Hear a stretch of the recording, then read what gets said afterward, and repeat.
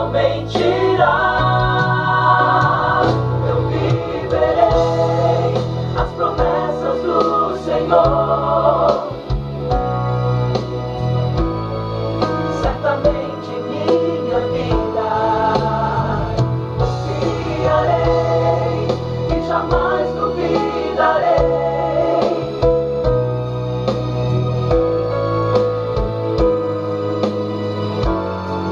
as promessas.